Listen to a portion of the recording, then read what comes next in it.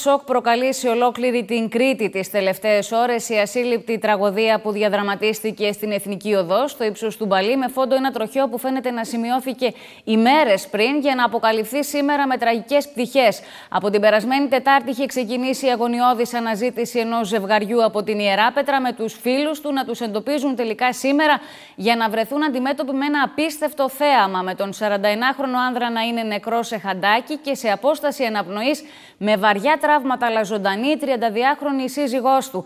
Πάμε αμέσως στις πηγές του ρεπορτάζ. Η Έλλη Κοκάλη είναι κοντά μας. Σε πολύ λίγο θα συνομιλήσουμε και με τη Στέλλα Μαθιουδάκη στο Ρέθυμνο. Έλλη, καλησπέρα. Βρέθηκες νωρίτερα στο σημείο που διαδραματίστηκε αυτό το απίστευτο περιστατικό και νομίζω ότι και το δικό σου το ρεπορτάζ αλλά και οι εικόνες που έχουμε καταγράψει θα μας βοηθήσουν λίγο στο να ερμηνεύσουμε αυτό που πραγματικά ο ανθρώπινος νους αρχικά δεν μπορεί να συλλάβει.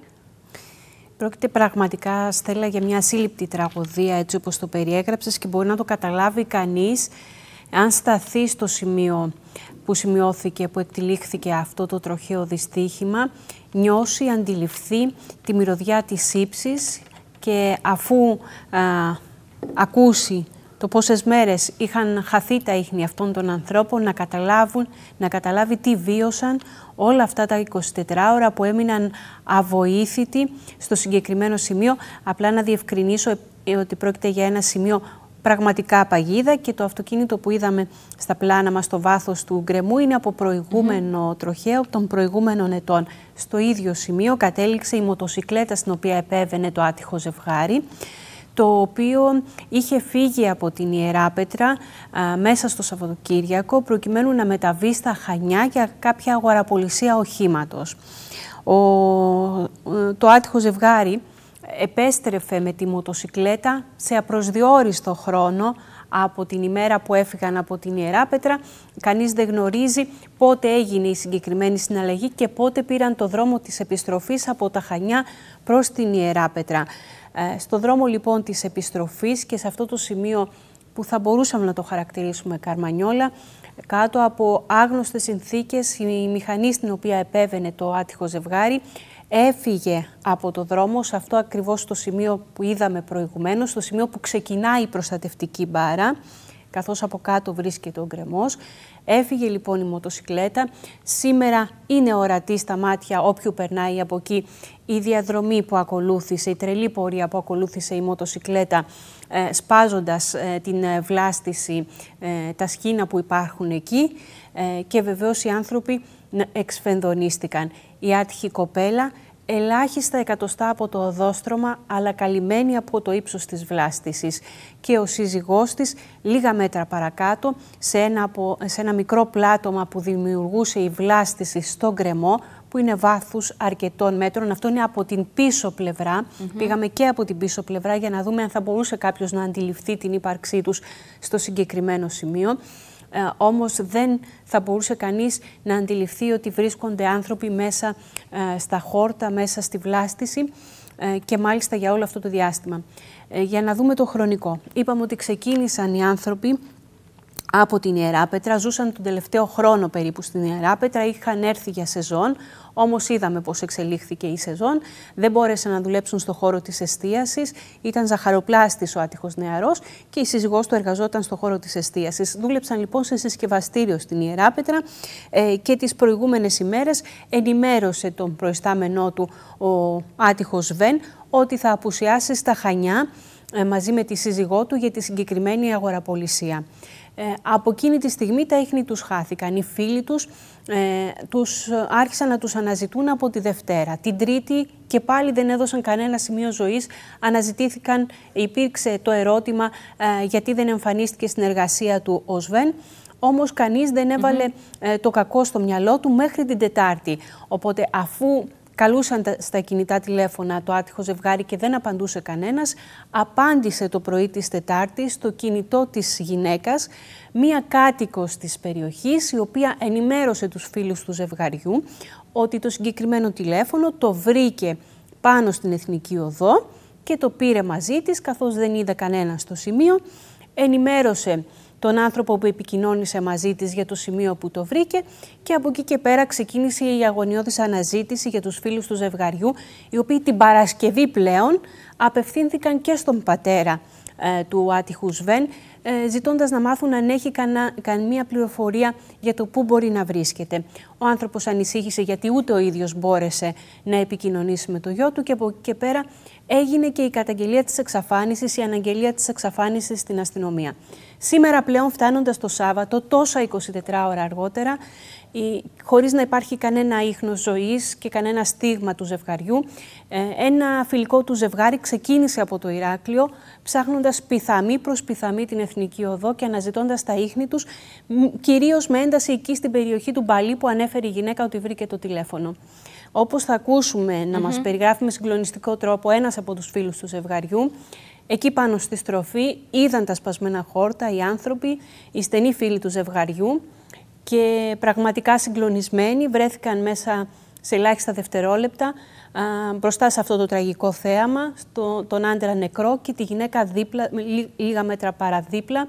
Εδώ ακριβώς στο σημείο που θα σταματήσει λίγο το πλάνο του συναδέλφου του Χρήστου Παπαδάκη, εκεί στον κρεμό είχε σταματήσει το σώμα του άτυχου νεαρού ε, στα, στη βλάστηση και ακριβώς μέσα από τις μπάρες και κάτω από τη βλάστηση ήταν η άτυχη γυναίκα όλες αυτές τις μέρες χωρίς βοήθεια να ψυχοραγεί, σοβαρά τραυματισμένη. Ε, θα να βάλουμε μία ανωτελεία, να πάμε να ακούσουμε τη μαρτυρία ενός φίλου του ζευγαριού. Μάλιστα είναι ο άνθρωπος ο οποίος κατάφερε ουσιαστικά να, να ακούσει μία γυναίκα να απαντάει στο τηλέφωνο και να βρει της το νεαρής συζύγου και τουλάχιστον να, έχουν ένα στίγμα, στίγμα που να τους αναζητήσουν για να βρεθούν τελικά σε αυτό το αποτρόπαιο θέαμα. Πάμε να ακούσουμε τη μαρτυρία του φίλου του ζευγαριού. Τετάρτη πρωί που παίρνω τηλέφωνο βρήκα το τηλέφωνο της γυναίκας του και το σήκωσε μια γυναίκα άγνωστη και μου είπε ότι βρήκε, βρήκε το τηλέφωνο σύζυγός της mm-hmm. στον Παλί, στο γυρισμό από το Ρέθυμνο. Mm-hmm. Είδανε κάτι εκείνη τη στιγμή, κάτι. Mm-hmm. Εν τω μεταξύ τότε είχε γίνει μάλλον το ατύχημα. Τρίτη ξημερώματα, Τετάρτη πρωί. Την Παρασκευή κινηθήκαμε και στον πατέρα του να το πούμε ότι μήπως έχουν επικοινωνήσει οι γνωστοί κάποιοι, mm-hmm. η Ρέθυμνο, η Χανιά που πήγαν τα παιδιά. Mm-hmm. Τίποτα δεν ξέρουν κανείς. Και από την Παρασκευή, δηλαδή από χθες, είναι και στην αστυνομία το αναφέραμε αυτό όλο.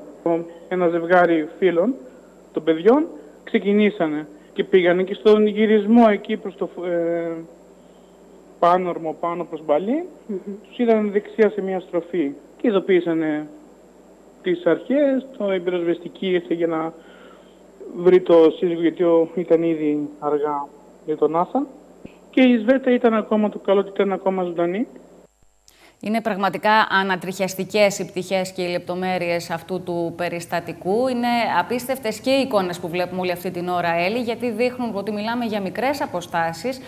μιλάμε για ένα σημείο που είναι ουσιαστικά μια απόσταση, μια, μια ανάσα από την Εθνική Οδό, ωστόσο μέσα σε έντονη βλάστηση που δεν μπορούσε όλες αυτές τις ημέρες να αποκαλύψει τους δύο ανθρώπους. Το, το άτυχο ζευγάρι με τον ίδιο να είναι νεκρό και τη σύζυγό του λίγα μέτρα παραπέρα να δίνει μια τεράστια μάχη για τη ζωή του. Πάμε στη Στέλλα Μαθιουδάκη, καθώς η 32χρονη γυναίκα ε, μεταφέρθηκε στο νοσοκομείο του Ρεθύμνου, ε, να μας δώσει όλα τα νεότερα δεδομένα ε, για την κατάσταση της υγείας της. Στέλλα.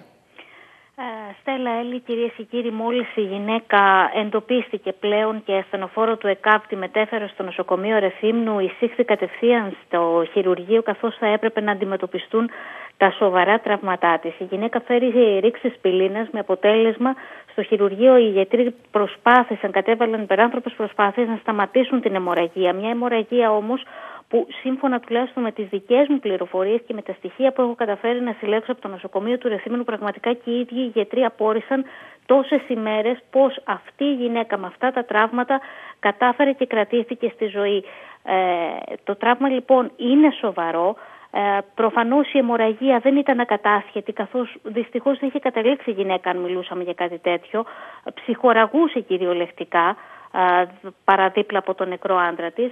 Ε, οι γιατροί λοιπόν κατάφεραν, σταμάτησαν την αιμορραγία, τη σταθεροποίησαν, τη διασωλήνωσαν καθώς φέρει και τραύμα κραϊνοεγκεφαλική κάκωση, τραύματα στο κεφάλι, με αποτέλεσμα στις 8 ακριβώς α, λένε οι πληροφορίες μας το ασθενοφόρο που τη μετέφερε από το Ρέθινο πέρασε την πύλη του νοσοκομείου Χανίων όπου πλέον αυτή την ώρα η γυναίκα νοσηλεύεται στη μονάδα εντατικής θεραπείας του νοσοκομείου Χανίων για να αντιμετωπιστεί ε, το τραύμα που έχει στο κεφάλι. Οι πληροφορίες που έχω, ε, Στέλλα και κυρίες και κύριοι Κέλλη, αναφέρουν ότι η γυναίκα βρέθηκε φορώντας το προστατευτικό κράνος στο κεφάλι της, σε αντίθεση με τον άνδρα, όπου βρέθηκε μεν ένα προστατευτικό κράνος, όχι όμως να το φορά.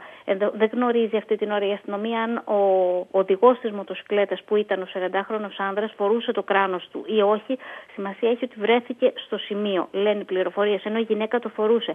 Κατά συνέπεια θέλω να πω ότι το τραύμα στο κεφάλι δεν είναι τόσο πολύ Φυσικά είναι, γιατί μιλάμε για μια κατάσταση η οποία, ένα τροχαίο που όπως όλα δείχνουν πρέπει να σημειώθηκε, εκτιμάται ότι σημειώθηκε. Αυτά βέβαια θα απαντηθούν από τους αρμόδιους, έχει από εμάς πιθανότατα την περασμένη Τρίτη. Ε, Πάντως, ενδεχομένως το προστατευτικό κράνος που φορούσε η γυναίκα να τη γλίτωσε από τα χειρότερα και η αιμορραγία ερήξης πυλήνας που υπέστη ε, να μην ήταν τόσο πολύ μεγάλη έκταση, αν μπορώ να το θέσω με αποτέλεσμα να κρατηθεί στη ζωή μέχρι και σήμερα που βρέθηκε από το συγκεκριμένο άνδρα που ακούσαμε και νωρίτερα. Άρα μπορούμε να πούμε, Στέλλα, σε αυτή τη φάση ότι προφανώς οι επόμενες ώρες είναι σε κάθε περίπτωση κρίσιμες, αλλά δεν τίθεται ζήτημα κινδύνου για τη ζωή της; Όχι, αυτό δεν μπορούμε να το πούμε, Στέλλα. Δεν γνωρίζουμε ακριβώς. Είναι μια σοβαρή κρίσιμη κατάσταση. Δεν γνωρίζουμε ε, πώς θα εξελιχθεί η κατάσταση. Δεν, δεν γνωρίζουμε αν έχει διαφύγει κάθε κίνδυνο. Αυτό μένει πλέον να το απαντήσουν οι γιατροί του νοσοκομείου Χανίων τώρα, Καθώς γνωρίζουμε ενδεχομένως να υπάρξουν επιπλοκές που όλοι φυσικά ευχόμαστε να μην συμβεί κάτι τέτοιο. Mm-hmm. Η γυναίκα μόλις ολοκλήρωσε ένα πολύ δύσκολο χειρουργείο για να σταθεροποιηθεί και κατευθείαν έφυγε από το νοσοκομείο Ρεθύμνου, μετέβη στο νοσοκομείο Χανίων. Είναι υπό παρακολούθηση. Είναι κρίσιμα τα επόμενα 24 ώρα. Όπως καταλαβαίνουμε όλοι, όταν περάσουν τα πρώτα 24 ώρα πλέον θα έχουν μια πιο ξεκάθαρη εικόνα. Αν έχει σταθεροποιηθεί ακριβώς η κατάσταση της υγείας της και αν έχει διαφύγει κάθε κίνδυνο. Μέχρι αυτή την ώρα κανείς δεν μπορεί να το πει, τουλάχιστον οι γιατροί με τους οποίους μίλησα δεν μπορούν να αναφέρουν κάτι τέτοιο. Σημασία έχει που είναι ζωντανή, καθώς είδαμε τι ακριβώς συνέβη. Όπως επίσης δεν γνωρίζουμε και αν ο άτυχος άντρας της ε, ζούσε ε, και κατέληξε εξαιτίας των σοβαρών τραυμάτων του. Είναι κάτι το οποίο δεν το ξέρουμε και εδώ μένει να απαντηθεί από το πόρισμα του ιατροδικαστή μετά την νεκροψία νεκροτομή που θα διενεργήσει. Θυμίζω μόνο ότι το άψυχο σώμα του άτυχου άνδρα είναι στο νεκροτομείο Ρεθύμνου.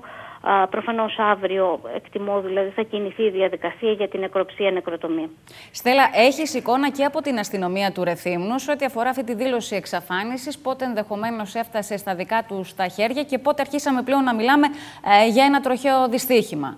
Όπως ανέφερε και η Έλληνη νωρίτερα, οι, οι φίλοι ήταν αυτοί που άρχισαν να αναζητούν το ζευγάρι. Όταν πλέον δεν τους έβρισκαν, αναγκάστηκαν να απευθυνθούν στον πατέρα, δεδομένου ότι ο πατέρας α, διαμένει στο Βόλο.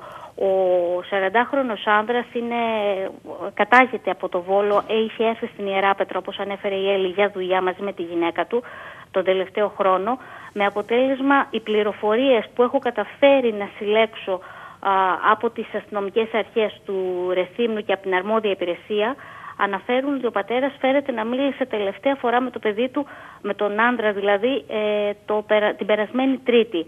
Έκτοτε δεν είχε κάποια επικοινωνία. Οι φίλοι επικοινώνησαν με τον πατέρα χθες, άρα ο πατέρας αναγκάστηκε, λένε οι πληροφορίες, να κάνει αυτή την, την αναγγελία εξαφάνισης, να δηλώσει την εξαφάνιση του γιού του στις αρχές, στο αστυνομικό τμήμα Ιεράπετρας όμως, Όπου και διέμενε το ζευγάρι. Ακριβώς, με αποτέλεσμα. Α, οι πληροφορίες μου αναφέρουν, Στέλλα, κυρίες και κύριοι, ότι αυτή η αναγγελία έγινε χθες το βράδυ, μετά τα μεσάνυχτα. Που σημαίνει ότι άμεσα κινητοποιήθηκαν οι αστυνομικές αρχές της Ιεράπετρας, αναζητώντας βέβαια το ζευγάρι στην περιοχή της Ιεράπετρας, καθώς κανεί δεν πήγαινε το μυαλό του ότι μπορούν να μιλάμε για ένα τροχαίο. Μιλούσαμε για μια εξαφάνιση. Με αποτέλεσμα, όπως τα περιέγραψε νωρίτερα η Έλλη, να γίνει γνωστό σήμερα ότι πλέον δεν μιλάμε για εξαφάνιση, αλλά για ένα δυστύχημα, για μια σύλληπτη τραγωδία. Πραγματικά εξελίχθηκε στο βόρειο δικό άξονα, πολύ κοντά στο Έθνο, στην περιοχή του Μπαλίου. Και έχουμε αρκετά ακόμα να αναζητήσουμε τις επόμενες ημέρες και ώρες. Υπάρχουν αναπάντητα ερωτήματα. Ε, Στέλλα Μαθιουδάκη, να σε ευχαριστήσουμε πολύ.